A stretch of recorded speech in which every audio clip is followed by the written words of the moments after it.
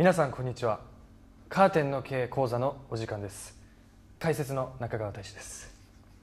飯豊山礼です。累計150万部突破の大ヒット恋愛漫画「今日のキラ君」が待望の映画化です。予告編で解禁された途端超人気の話題になったカーテンの経、今回は特別に正しいカーテンの経を皆さんにレクチャーしたいと思います。ぜひご覧ください さあということで。さあということでよろしくお願いします。よろしくお願いします。じゃあまあまずはまあこちらの方に。まあカーテンの経ぶりですねカーテンの経そうですね本番ぶりということでちょっと思い出しつつ。はい。まあ、まずは、えーターゲットとなる、えーお相手の方をいらっしゃいますけども、はい。えーこちらの方に、えーまあキュンとした瞬間というか。キュンや？二人っきりになりたいな。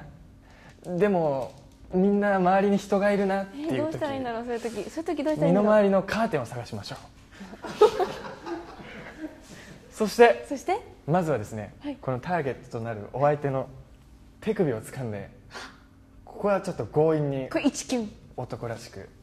1キュン。キュン。そして腕を引っ張りなが引っら張りながら。カーテンの中に導きます。そしてうまく体を入れ替えつつ カーテン巻き込みつつ二人っきりの空間これが見えないわ。はい。これが？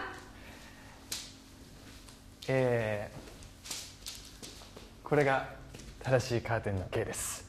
皆様お分かりいただけたでしょうか？全く見えてないですよ。